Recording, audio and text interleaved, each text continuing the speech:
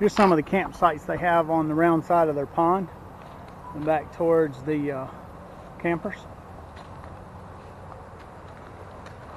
Um, in this area, I think that's cabin K14 from what I can see. That gives you an idea what the cabins look like. Let's stroll up through the cabins here. Go ahead, Don.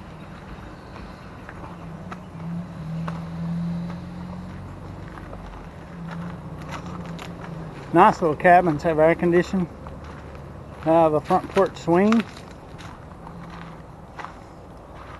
Uh, just big enough for a family to have a good time with.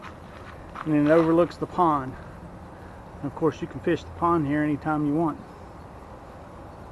Probably kayak it. Matter of fact, I see a boat dock over there.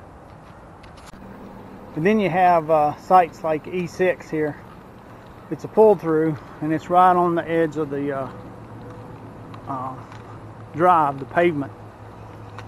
But at the same time, if you like to night fish,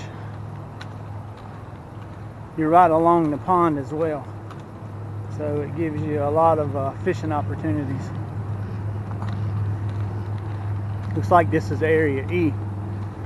This will be an E4. Here's the uh, boat dock that they have.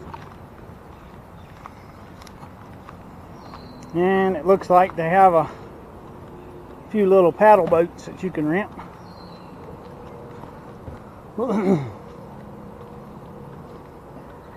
Could bring your kayaks over here too. I don't know if they rent kayaks do you? I don't, know if they do. I don't think so.